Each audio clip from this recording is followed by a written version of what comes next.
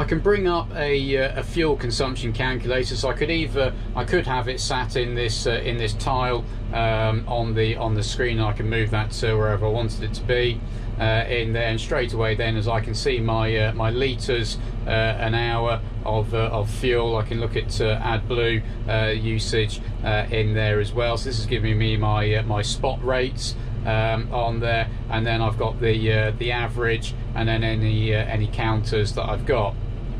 Now I can tap on there and go uh, go full screen, um, or again go to uh, go to the tractor uh, tractor launch pad, go to where we've got the uh, the fuel pump on there, and we can see everything then in a, in a full full screen.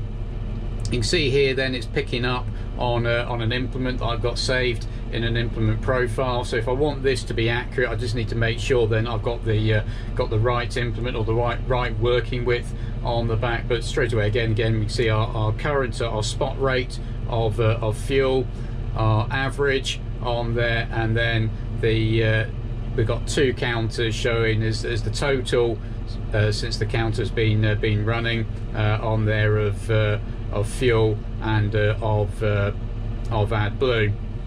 Now I can, up in this top corner here, is I can swap from, from litres uh, an hour to litres a hectare um, in here. And so that's where then really this uh, this this figure here needs to be correct to get that uh, get that clocking up uh, properly uh, on that one. Or I could set it to uh, litres per 100 uh, kilometres um, if you like. So if this would be the equivalent of uh, miles per gallon that we see in the in the car. If I want to to reset any either you know sum total one or sum total two is just tap across onto uh, onto this one. I could say that I want to delete my uh, my average in there, or I could choose then to delete one of these uh, summarized totals as well and set that back to uh, back to zero. So if it was uh, number one that I wanted to reset, you can see straight away now that's uh, that's that's reset itself on there. Yet total or count timer two, if you like, has has stayed the same.